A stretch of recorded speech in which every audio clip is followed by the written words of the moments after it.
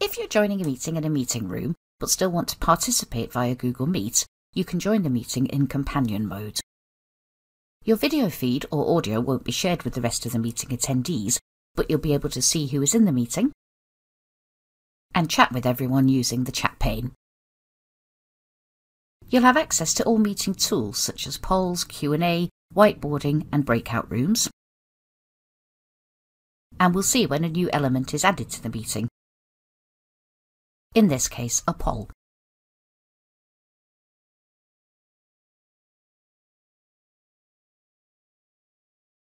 You can raise your hand individually for everyone in the meeting to see, and take it down again when you finish speaking if Google Meet doesn't do it for you. You can share your screen with everyone in the meeting.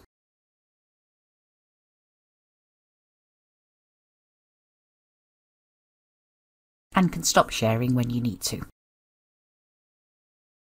To show captions on the device you're using in companion mode, click on the ellipses then on Settings.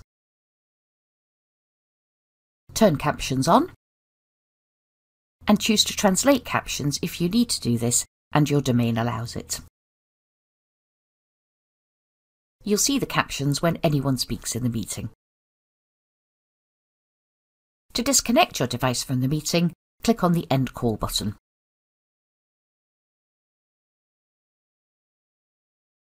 Thank you for watching.